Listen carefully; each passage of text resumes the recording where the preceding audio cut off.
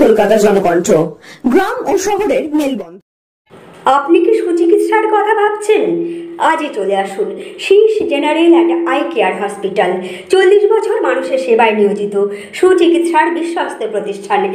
কলকাতার অভিজ্ঞ ডাক্তার দ্বারা অপারেশন ও চিকিৎসা করা হয়। কাঠালিয়া, ভাঙর, কাশীপুর, দক্ষিণ চব্বিশ পরগনা। যোগাযোগ সাত চার শূন্য সাত তিন তিন সাত সাত চার চার, সাত চার শূন্য সাত চার চার এক দুই তিন চার। সিভিক ভলেন্টিয়ার যে প্রাইমারি টিচার পদে নিয়োগ করতে চলেছে বাঁকুড়া জেলা প্রশাসন। এটি স্থগিত হয়েছে বা পুরোপুরি বাতিল হয়নি। এই বিষয়ে আপনি কি বলবেন? এটা আমি যতদূর বুঝেছি যে ওরা একটা কোচিং ক্লাসের মতো করতে চেয়েছে।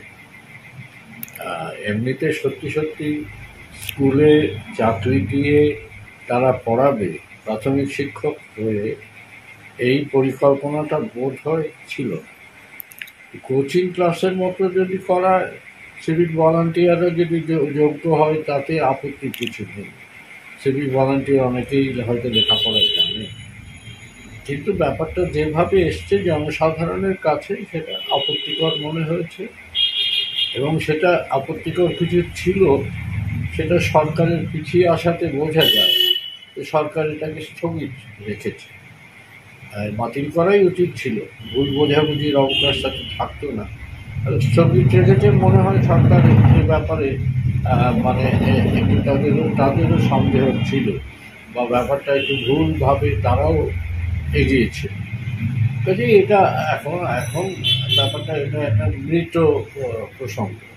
ডেড ইস্যু এটা নিয়ে বেশি মাথায় ঘামাবার কিছু না অনেক তো যোগ্য প্রার্থী তার পথে বসে আন্দোলন করছে তো তাই আছে অলরেডি যোগ্য প্রার্থী নেই তারপরে ওদের সিভিক ভলেন্টিয়ার তাদের তো কাজ তো নিরাপত্তা দেওয়া। তারা শিক্ষাগত জগতে আসছে। যে ছেলে মেয়েগুলো পথে বসে আছে তাদের চাকরি চুরি করা হয়েছে চাকরি বিক্রি করা হয়েছে। তারা সাতশো দিনের বেশি পথে বসে আছে। এখন পুলিশের মাথা থেকে প্রশাসনের মাথা থেকে এইসব নতুন নতুন এ বেরোচ্ছে। আগে স্কুল উঠে যাচ্ছে, সেগুলো বন্ধ করো। আট হাজারের মতো প্রাথমিক স্কুল উঠে যেতে বসেছে। আর এইগুলো বন্ধ করবে কোথায়? স্কুলে শিক্ষক দেবে কোথায়? স্কুলে ব- বন্দোবস্ত করবে কী করে? তো নতুন ছাত্রছাত্রীকে নিয়ে আসবে। সেটা কোথায়? নয় এইসব উদ্ভট উদ্ভট পরিকল্পনা মাথা থেকে বেরোচ্ছে। এই এই মানে মনে হয় একটা দিশাহীন অবস্থা চলছে আমাদের শিক্ষা জগতে এতে কি শিশুদের ভবিষ্যৎ নষ্ট হচ্ছে না? শিশুদের ভবিষ্যৎ তো নষ্ট অনেকদিন থেকে দশ বছর আগে থেকেই শুরু করা হয়েছে।